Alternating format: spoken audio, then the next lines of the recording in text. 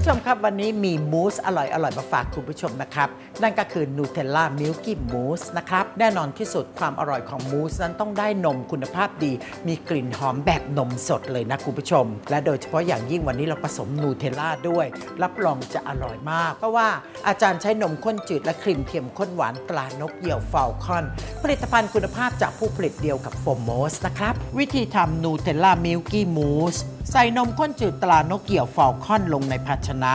ตามด้วยครีมเทียมข้นหวานตรานกเหยี่ยว Falcon ตั้งไฟคนตลอดเวลาจนส่วนผสมเดือดทั่ว ปิดไฟ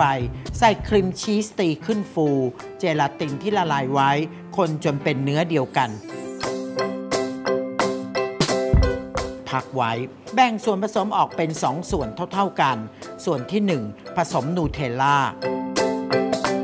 ผงโกโก้ที่ละลายกับน้ำมันพืช คนผสมให้เข้ากัน เติมวิปปิ้งครีมตีขึ้นฟู คนส่วนผสมให้เข้ากันอีกครั้ง เตรียมไว้สำหรับเป็นมูสช็อกโกแลต ส่วนที่ 2 เติมวิปปิ้งครีมตีขึ้นฟู